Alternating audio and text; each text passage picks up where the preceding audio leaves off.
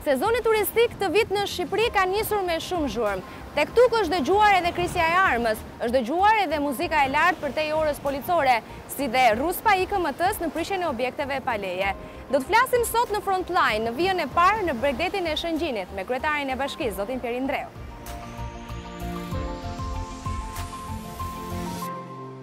Kryetar, përshëndetje. Si jeni? Si kaluat? Sezon të mbarë. Si ka nisur sezoni në Shëngjin, në Lezhë? Mirë, ka nisur i mbarë, duke krahasu edhe me vitin që kaloi, meqë ishte vit pandemie dhe ishte pak anemik, sivjet ka një tjetër hov. Kuptohet që këto të dhëna nga strukturat akomoduese, të cilat sivjet kanë më shumë prenotime, më shumë pjesëmarrje. Qershori ka qenë sezon më shumë i fundjavës, që e kanë frekuentu, kryesisht shqiptarët e Kosovës, kanë ardhë nga rrethet e tjera të Shqipërisë, Kanë fillu të vijnë emigrantë dhe të huaj. E qartë. Kur flisni për një rritje një hov më të ndjeshëm të turistëve, e krahasoni me vitin pandemik apo me vitet përpara, kur turizmi ishte normal? Jo, ne e krahasojmë me vitet përpara. Domethënë me vitet e përpara është fluksi i duhur sivjet. Dhe pritet që të ketë rritje të ndjeshme për shkak edhe të Të atij stresi që kanë është akumulu nga shumë e shumë njerëz dhe pamundësisë tyre për të ardhë nga jashtë. Duke i shtu këtu edhe situatën shëndetësore për shkak pandemisë që Shqipëria është në nivele pothuajse zero. Dhe këto janë faktorë që ndikojnë dhe që i kanë bërë shumë njerëz dhe të huaj po dhe emigrantët tanë shqiptarët Kosovës apo Shqipërisë që janë jashtë që nuk erdhen dot vjet për shkak të të pandemisë, të vijnë sivjet dhe të prenotojnë në hoteleritë e Shëngjinit. Keni një raport deri më tani nëse kanë qenë më shumë turistë vendas, apo që kanë ardhur jashtë kufijve të Shqipërisë, e keni këtë raport, jo, apo është ende herët? Për momentin, shumicën e klientelës e përbëjnë shqiptarët e Kosovës, mhm. që në Shëngjin zënë më shumë se 65% të pjesëmarrjes. Plus pastaj ka edhe shumë nga Tirana që vijnë, nga Shkodra, nga Kurbini, nga Mirdita, nga Puka, nga gjithë rrethet e Shqipërisë ka pjesëmarrje. Pse duhet të vijë një turist në Shëngjin? Ne jemi në zonën e Ranës së Hedhur. Pse duhet të vijë nga jugu i Shqipërisë, nga veriu i Shqipërisë e aq më tepër turistët që vijnë, emigrantët që vijnë nga jashtë kufijve? Çfarë ofron Shëngjini? Shëngjini ofron gjithçka, është një kombinim i jashtëzakonshëm natyror. Vetë vija bregdetare ndahet në katër zona që mund të them. Është zona e Tales, që është një plazh i jashtëzakonshëm i virgjër, është zona e plazhit të lagunës Kune Vain, është zona e Shëngjinit po. dhe Rana e Hedhur. Pra janë katër zona që për nga për nga kombinimi ofrojnë secila një një domethënë strukturë më vete, ki parasysh dhe rëra është shumë kurative, ne jemi mundu bashkë me, me strukturat e, e operatorëve turistikë, me strukturat hoteliere, me të gjithë biznesin, kemi bërë disa takime dhe kemi realizu tashmo një pastërti shembullore, mhm. siç ju edhe vetë e keni pa. Po, në fakt, teksa vinim në, në hyrje të Lezhës, pamë që Ndryshe nga qytetet e tjera ku po dominojnë edhe debatet e shumta për sa i përket grumbullimit të mbetjeve, sidomos në zonat turistike, për shembull sjell në vëmendje Durrësin me çfarë po ndodh me me atë masakër ambientale me mbeturinat në Durrës, pamë që Lezha kishte një lloj diference të dukshme, Shëngjini, Rëra, a ka pasur një lloj presioni pozitiv nga ana juaj si kryetar bashkie për këtë çështje?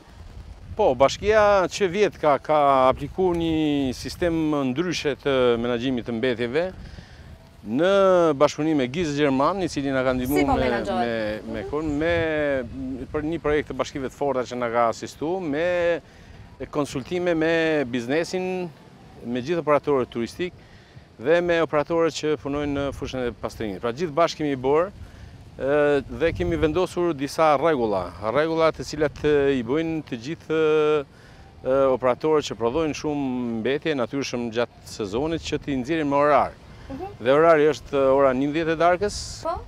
deri në orën një dhe pastaj në mëngjes dhe kemi një orar në pasdite kur për shembull gjithë stacionet e plazhit prodhojnë mbetje, i mbajnë aty, por i nxjerrin në një orar kur ne i tërheqim menjëherë. Kjo është lënë në vullnetin e strukturave hoteliere, apo ka një lloj ngulmimi nga ana e bashkisë që të ketë këtë lloj akordimi me. Kuptohet se iniciativën e kemi marrë ne si bashki, jemi konsultu me ta, vjet rezultoi e suksesshme, ne morëm çmimin e parë në Shqipëri për për pastërtinë në në një shpallje që bëri për katër projekte te praktikat më të mira ambasada zvicerane me projektin Bashkitë e Forta dhe natyrshëm ne u cilësuam më më Lezha u cilësua më e pastër dhe vazhdojmë ta bëjmë. Ka një problem me ndërgjegjësimin qytetar, ka shumë qytetarë që hedhin plastikë nga makina, hedhin letra, por që ne me strukturat e bashkisë, me punonjësit e bashkisë, i mbledhim shpejt dhe situatën nuk ndodh që të, të, të dalë jashtë kontrollit. Janë dy orare që mund të ketë ngarkesë, por që janë disiplinuar për t'i nxjerrë me qese të lidhura. Do ta ruani pra, ju këtë pastërti edhe atë medalje të bashkisë më të pastër edhe këtë sezon turistik? Absolutisht po. Sot që flasim në Shëngjin po e them me krenari është vështirë me gjetë një letër në tokë, besoj e konstatuat edhe vetë. Dhe ne do vazhdojmë... Po kërkojmë ndërkohë edhe në plazh, mos ka ndonjë mbeturinë të hedhur, edhe pse turistët kanë filluar, sot është ditë e hënë në fakt, edhe duke qenë se kemi lënë fundjavën pas, pastërtia duket, të paktën në rërë. Stacionet e plazhit e kanë detyrim, e kanë detyrim që të vënë koshat e mbeturinave siç janë vënë. Po. Dhe me marrjen e konfirmimeve këtë javë do operojmë pikërisht në në sistemin e masave në stacionet e plazhit, me kullat e vrojtimit dhe me Koshat e mbeturinave. Ka disa stacione që janë konfirmuar me vonesë dhe nuk i kanë bërë akoma, por këtë javë besoj gjithçka të shkojë në vendin e vet. Kjo është një zonë që ka marrë konfirmime, siç e shikoni i kanë bërë dhe po. kullat e, e vrojtimit. Mhm. Por në pastërti, në një komunikim që kisha unë para pak ditësh me operatorët turistikë, u thashë që stacionet e plazhit do të jenë absolutisht të pastra. Nëse tre herë do konstatohet Ne do procedojmë me gjobë, do bëjmë kontroll në stacion plazhi dhe e gjejmë të ndotur, atëherë pas herës së tretë do të hiqet e drejta e e përdorimit të stacionit të plazhit si një stacion i cili krijon probleme Do jetë gjobë administrative për së pari? Për së pari për së dyti dhe për së treti do jetë administrative. Pastaj mbi bazën e gjobës i bie e drejta Personit të menaxhojë më një stacion plazhi si i padenjë për cilësinë e plazhit që ne duhet të realizojmë. Po, kryetar, ne në fakt jemi në zonën e Shëngjinit, apo jo? Po. Në pjesën a shumë afër Ranës së Hedhur. Kemi parë shembullin që na solli Velipoja me masakrën që ndodhi për shezlonët. Flas për shezlonët sepse jemi ne pikërisht në mesin e shezlonëve dhe pikërisht ndarja mes strukturave hoteliere. Si është proceduar në Bashkinë e Lezhës pikërisht kjo ndarje? A është bërë e mundur ndarja e strukturave hoteliere sipas kritereve që përcakton edhe Agjencia Kombëtare e Bregdetit? Ka pasur shqetësime, ju e keni ndier këtë frymë që erdhi nga Velipoja me katër viktima? Që të jemi realistë, ne si bashki i kemi paraprirë situatës. Pra duke pas në dorë hartën digjitale dhe piketat se ku do vendosen, ne kemi bërë ndërhyrje të, të hershme bashkë me policinë e shtetit për të mos leju shumë struktura hoteliere që të vendosin shezlonët jashtë piketave.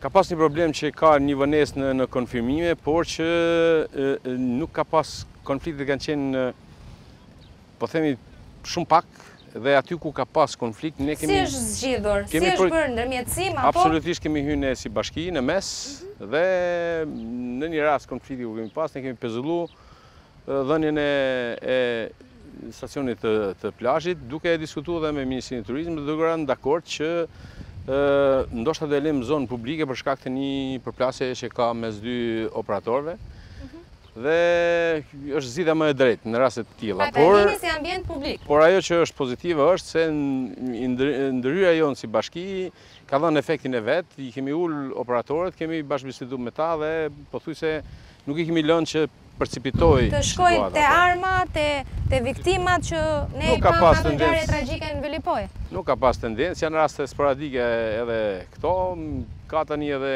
kokat nxehta që Për pesë shezlona, për dhjetë... Dhe si ftohen këto koka për të mos shkuar te ajo masakra e Velipojës? Mirë është ndërmjetësimi, ne e kemi zgjidhë, bashkia ka qenë shumë aktive në ndërmjetësim, bashkë me policinë e shtetit, kemi qenë një dhe kemi ndërhy me policinë bashkiake, kemi ndërhy menjëherë.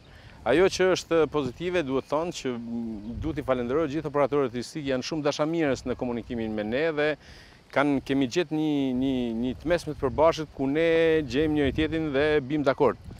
Sa... Dhe këto konsulta, të paktën vetëm sivjet, janë bërë dy konsulta të mëdha me gjithë operatorët turistikë dhe kemi diskutuar se çfarë shqetësimesh kanë ata dhe çfarë kërkohet nga, nga, nga pushteti lokal. Sa struktura hoteliere janë të, të vendosura në gjithë bashkinë e Lezhës? Pra, sa hotele kanë kërkuar të kenë stacionet e tyre me shezlon, me hapësirat e tyre? Jo gjithë janë hotele, Ka dhe sepse fillojnë me hotele, janë njësitë e shërbimit pastaj që vijnë, janë edhe zonat ku nuk ka as njësi shërbimi, as, as hoteleri, por që i merr në menaxhim, prevalon pronari i tokës që është afër, pra janë të, të ndërthurura.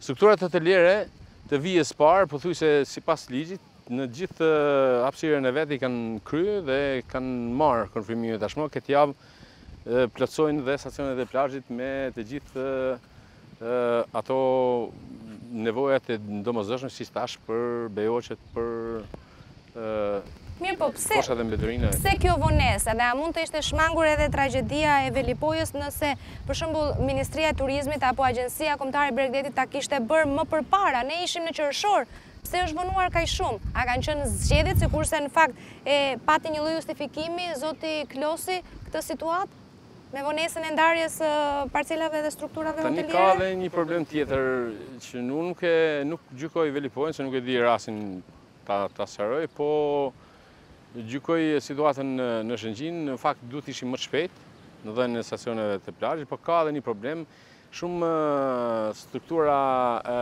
akomoduese e hotellerisë sidomos kanë gabu në në aplikim.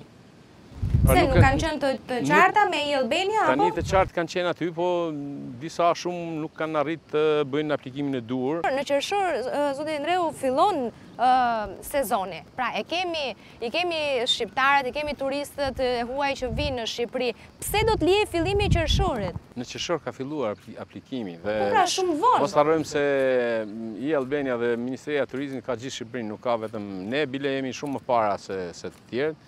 Sot që flasim kemi të konfirmuar mbi njëqind e shtatëdhjetë stacione plazhi, besoj sot janë bo dyqind. sepse duhet të jenë konfirmuar edhe një numër tjetër dhe vazhdojmë me një ekip të Ministrisë së Turizmit që është atashuar pranë bashkisë, duke bërë dhe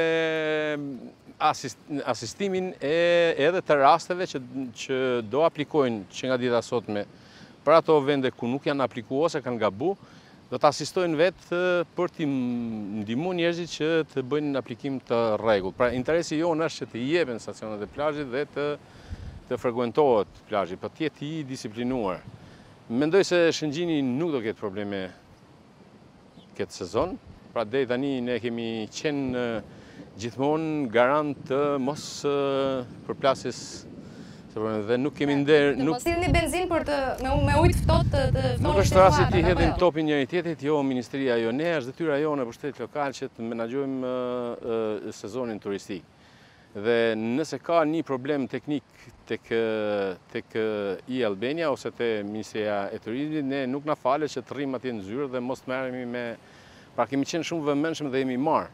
Jemi marrë intensivisht. Mbase mund të ketë pasur neglizhencë nga Bashkia e Shkodrës për ngjarjen e Velipojës, po thoni apo? Nuk e gjykoj fare, flas për Bashkinë e Lezhës.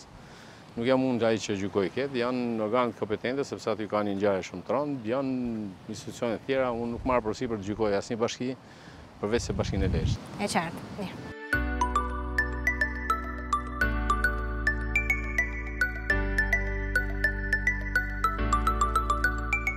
Le të flasim pak edhe për sigurinë e turistëve, plazhistëve. Kullat e vrojtimit, shoh që janë të pranishme. Le ta shofim sipër më mirë.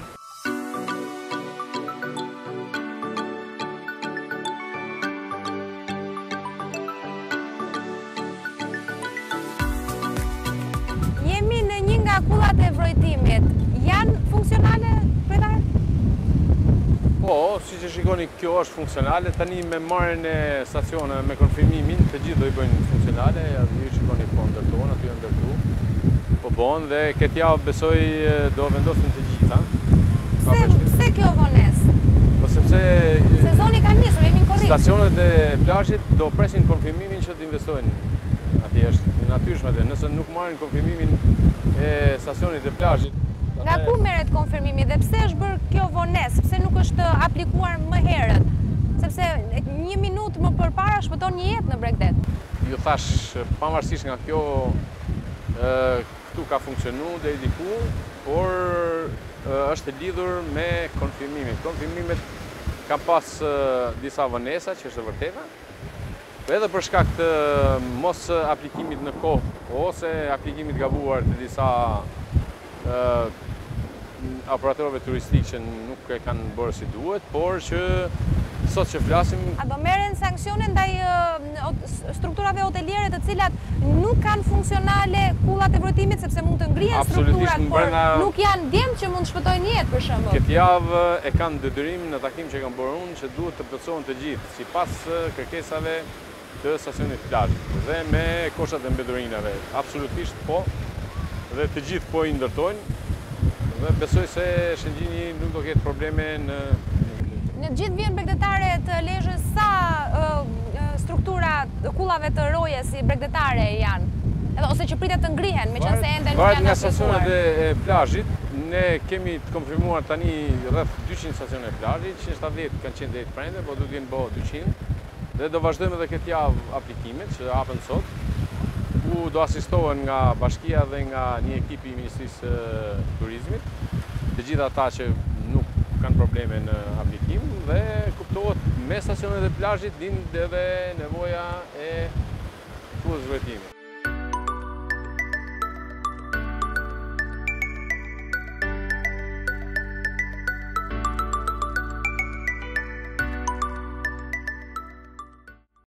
Sa objekte janë prishur deri më tani në bregdetin e Lezhës? Po, është vepru në 7-8 objekte, të cilat kanë qenë pa leje, Në fakt, duhet thënë se ka një tendencë paligjshmërie te disa operatorë, të cilët me shumë vështirësi ne po i vem në kontroll. Normalisht duhet të ka... Pse me vështirësi? Po sepse nuk kuptojnë se ka ardhur një kohë që nuk mundesh më të bësh asnjë ndërtim pa leje dhe nuk mundesh më të dalësh jashtë studimeve urbanistike që janë bërë. Për shembull, tash tani sapo kemi kemi nxjerr planin urbanistik të Tales dhe të Rënës së Hedhur. Pra, gjithçka është e konfiguruar me një financim të qeverisë nëpërmjet Ministrisë Turizmit, në një studio e cila ka bërë një studim shumë të mirë për zhvillimin e kësaj zone dhe të Tales, dhe gjithçka do bëhet në struktura bashkëkohore, jo më në ndërtime pa... Beton do ketë më në rërë? Jo, absolutisht, nuk mund të ketë më në rërë, dhe i kemi bërë të qartë dhe ndërtuesve që nuk mundeni më të bëni as edhe një lëvizje në drejtimin e gabuar, se përndryshe pastaj do do përgjigjen para ligjit. Ju thatë që janë prishur shtatë apo tetë objekte pa leje. Janë objekte të cilat janë ndërtuar rishtazi apo kanë qenë ekzistuese dhe tashmë i ka ardhur radha nga ruspa e IKMT-së? Jo, shumica kanë qenë rishtaz, kanë qenë disa shtesa, disa improvizime jo shumë të rënda, por që në fakt kanë kanë kriju probleme. që është e vërtetë. Po pse gjithmonë kërkohet të ndërhyhet në periudhë sezoni? Pra, gjithë viti kemi të paktën shtatë apo tetë muaj të tjerë të vitit, të cilat mund të sjellin në prishjen e këtyre objekteve. Gjithmonë gjendet pika e kulmit të sezonit. Sepse prill, maj është periudha kur duke e shfrytëzuar edhe edhe fillimin e sezonit turistik, fillojnë dhe i bëjnë. Pra fillojnë dhe abuzojnë. Është pikërisht koha kur fillojnë dhe abuzojnë. Nuk është se kanë abuzu që në shtator, që mund të jenë konstatu, por janë ndërhyrje të vonshme, të cilat nuk duhet të ndodhin, por që disa kanë gjetë. Po pra, por nëse janë të, të prillit apo të majit, siç thoni ju, pse nuk ndërhyhet që në gjenezë, që kur aty hedhin themelet, po duhet pritur që ata të ndërtojnë Të hidhen investime, të harxhohen para e më pas ju të ndërhyni për t'i prishur ato. Në shumicën e rasteve është ndërhyrë me bllokimin e punimeve, me gjoba nga ana jonë dhe por duhen forca dhe kapacitete të tjera për të bo shembjen. Gjë që bashkia nuk i ka. Jemi në sezon turistik dhe sigurisht një kemi kaluar një vit, kemi lënë pas një vit pandemik, fatmirësisht shifrat tashmë kanë disa ditë me radhë që nuk kanë sjellë fatalitete. Si ka ndikuar pandemia në këtë pjesë të parë të sezonit turistik? Jo, për kushtet ku jemi, situata është pozitive dhe ka ndiku pozitivisht, sepse vetë prenotimet që janë në strukturat hoteliere janë të niveleve të para pandemisë. Pra, po rritet, ka një rritje të ndjeshme dhe një shpresë për më shumë pjesëmarrje, Dhe normalisht kjo i dedikohet edhe situatës së pandemisë në Shqipëri. Flas për sezonin turistik dhe për pandeminë sepse jemi ende nën rrethimin e orës policore. Në respektim të masave anti-Covid, situata në pjesën e bregdetit kryesisht, por edhe në qytet, në Lezhë, në bashkinë e Lezhës, si paraqitet? A respektohet ora policore? Mbyllja tashmë prej një korrikut e kemi në orën njëzet e katër. Po në përgjithësi respektohet, ka raste kur s'respektohet. Dhe kur flasim për raste që nuk respektohet, për shembull, pak ditë më parë jeni sjellë në vëmendje të mediave për shkak të një situate të pakëndshme, një incidenti që ka ndodhur në një nga restorantet këtu në në Lezhë, apo jo? Ku ka është ndërhyrë sepse keni qenë në tejkalim të afatit dhe orës policore. Nuk është bërë fjalë asnjëherë që nuk ka pas shkelje në orar, është bë fjalë për mënyrën e ndërhyrjes. Sepse në shkelje të një akti administrativ nuk ndërhyhet forcërisht. Ju keni qenë në shkelje të këtij akti normativ, ka kaluar ora policore kur keni qenë duke darkuar? Kam qenë dhe e kam pranuar se kam qenë dhe po?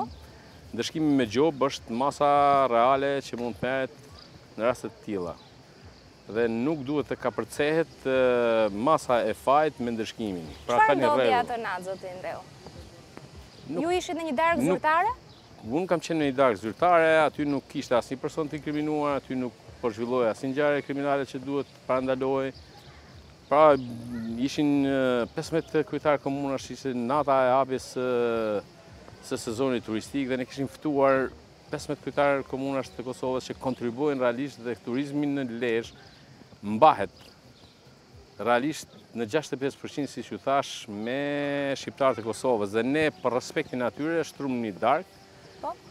një darkë që ishte komplet zyrtare, komplet e qetë, komplet pa incidente, komplet pa pjesëmarrjen e as edhe një personi të inkriminuar dhe pa asnjë akt me cilin mund ndërhyrë dhe kaq Dhe ndërhyrja e policisë duke konstatuar orarin e tejkaluar të orës policore, Ka sjellë edhe përplasjen me pronarin e biznesit, apo jo? Fatkeqësisht... Dhe është bërë edhe ndërhyrja juaj në atë moment. Fatkeqësisht, duhet të thënë se lokalet në përgjithësi në Shëngjin kanë qenë hapur. Nuk ka qenë vetëm kjo. E theksoj edhe një herë, në raste të tilla disponohet me gjobë, dhe jo me ndërhyrje të dhunshme. Ka pasur përpjekje nga ana e uniformave blu për të të marrë shoqëruar me dhunë pronarët e biznesit? Janë bërë disa veprime të paligjshme për mendimin tim në kapërcim të kompetencave dhe normalisht jam shumë i shokuar nga mënyra e interpretimit të të të mediave.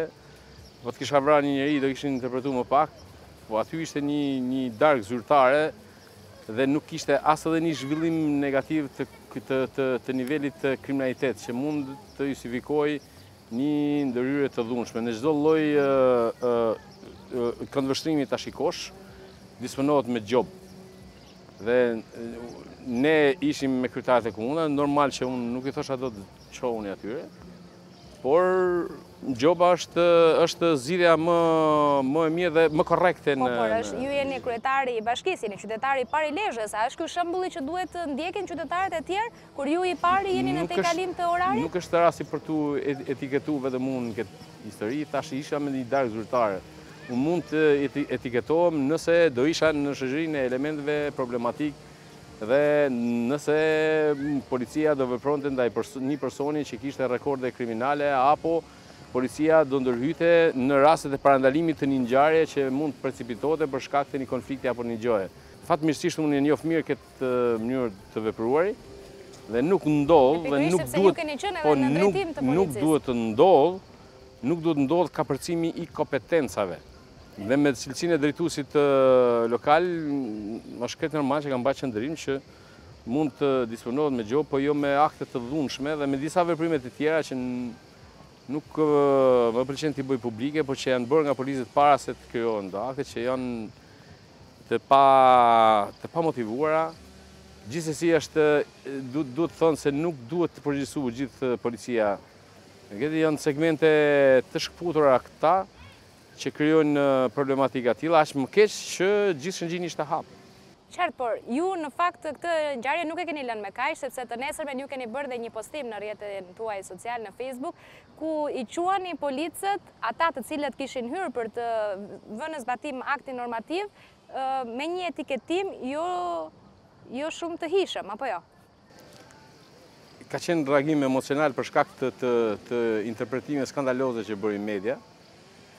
Të bësh një kallëzim karshi dikujt nuk do thotë se duhet t'i vësh medaljen e fajit menjëherë dhe t'japsh edhe, edhe masën e dënimit në kësi rastesh. Ka pasur edhe një denoncim nga ana e Prandaj po them pra, media, media ka, ka bërë një, një interpretim të çuditshëm dhe kjo ndodh rëndom në, në, në Shqipëri, Ndërsa e shajnë policinë në mënyrë permanente me gjitha epitetet nëpër media e akuzojnë për për lloj lloj gjëje, mjafton nji kërkesë e nji drejtuesi lokal për të mos tejkalu kompetencat dhe bëhet hit pastaj në në media sikur aty u u u mbrojt nji person ose u mbrojtën disa persona të inkriminuar. Po, zoti Ndreu, ju i keni quajtur policët që veshin uniformën e policisë, Barkderra. Është një etiketim, jo i hijshëm për Policinë e Shtetit, duke qenë se dhe ju keni qenë pjesë, e keni veshur atë uniformë. Kam qenë dhe vazhdoj të jem mbrojtës i paepur i Policisë në mënyrë permanente. Ka qenë një reagim emocional, ju thash, i momentit për shkak të impaktit. Ka vend për ndjesë për këtë lloj etiketimi? Pastaj procedura se si do të vijohet? Për etiketimin kërkoj ndjesë sigurisht, por ka qenë një etiketim emocional, Por nëse vë veten përballë policisë, nuk ka ndodhur ndonjëherë që unë ta sulmoj policinë kurrë. Pra kam qenë mbrojtësi më i zjarrtë i policisë edhe si deputet, edhe si qytetar, edhe si drejtues lokal.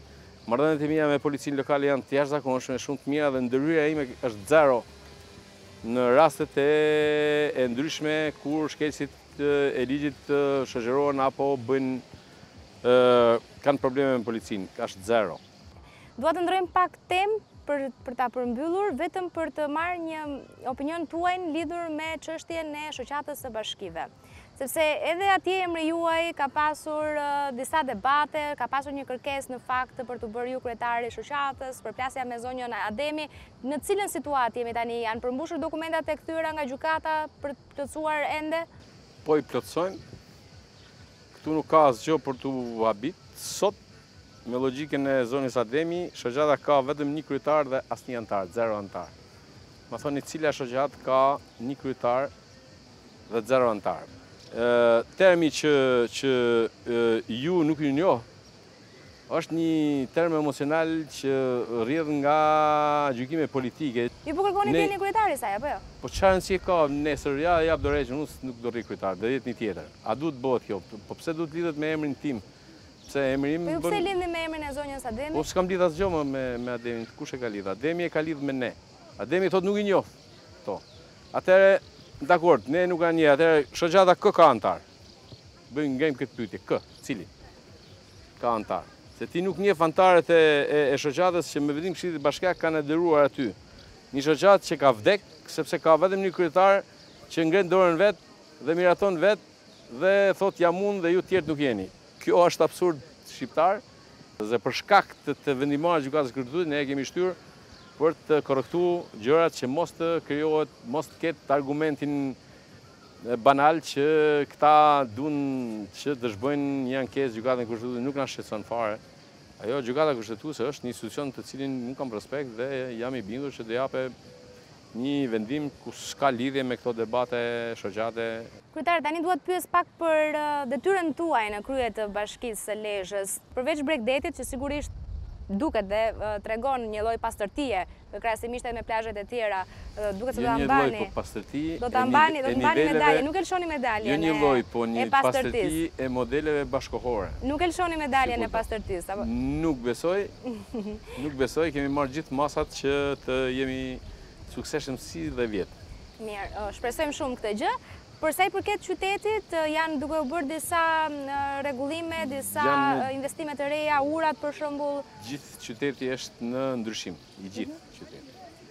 Të gjithë lagjet e qytetit janë në një projekt që rikualifikon të gjithë fasadat, rrugët, Dhe lumi ka projektin e urave me bashkë me rikualifikimin e kangjellave anësore të cilat janë dëmtuar. Do vazhdojmë edhe me projektet e kanaleve të ujërave të zeza, që është një problem në Lezhë, do bëhet po me KFV-në, do bëhet ujësjellësi i lagjes Nënë Tereza, që është një ndër lagjet më të mëdhaja që vun sot për ujë. Pas atyre do ndërhyjmë edhe në infrastrukturën e disa lagjeve të tjera të qytetit. Ajo që është pozitive në Lezhë, se ju thash përveç turizmit bregdetar, kemi edhe turizmin historik dhe religioz. Kemi vendvarrim... Paruar në gastronomin. Në fund është qershia mbi tortë ajo për Lezhën. Mhm. është vendvarrimi i Skënderbeut, kemi bërë një muze etnografik simpatik dhe shumë të mirë, është i vlerësuar shumë edhe nga të huajt. Kemi Kalanë, e cila në fakt du ta them në këtë emision nuk e di për çfarë arsye Instituti i Monumenteve akoma nuk rregullon dot një urë dhe nuk e ndriçon atë kala. Megjithëse ne kemi kaq kohë që që bëjmë debate për këtë, por është në administrimin e tyre dhe më vjen keq që kalaja e Lezhës është në në atë gjendje. Dhe i bëj thirrje Ministrisë së Kulturës që të marrë masat e menjëhershme sepse e kalon në ditë të hallin. Janë disa objekte religjioze, është kisha e Balldrenit, e cila ka është gjet afresku i darkës së fundit Jezu Krishtit, po që daton diku rreth 200 vjet para se ka pikturu Da Vinci. Është kisha e Pllanës, një kishë shumë e vjetër, të cilën e kemi restauru me pjesëmarrjen edhe të bashkisë. Është kisha e Kallmetit, është kolegji i Troshanit, ku ka studiu Fishta dhe ku ka qenë një qendër e, e, e gjithë edukimit të françeskanëve, pra ka qenë një, një, një, një, një, një pikë ku ka rrezatu shumë kulturë dhe shumë nivel.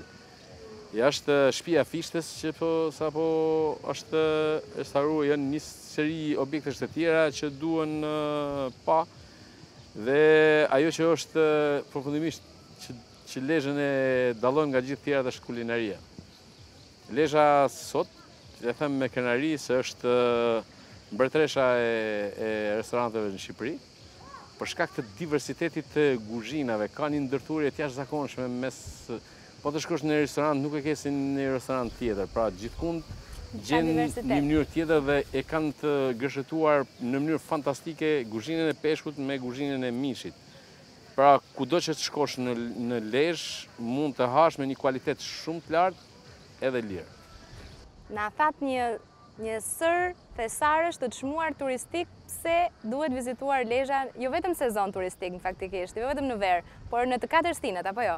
Në të katër stinët po, është do ishte këtu edhe edhe një ndër perlat e pa e pakrahasueshme që është Laguna Kune Vain, që aty është bërë një rrugë e jashtëzakonshme dhe po të hysh atje duket tamam sikur je diku jo në Lezhë, po diku në një vend të kuruar mirë dhe që ka sharm. Faleminderit që ishit në Frontline. Faleminderit ju për gjithë kontributin që jepni në në zhvillimin e turizmit dhe po ju them që turizmi në Lezhë do vijë çdo vit dhe në ngjitje.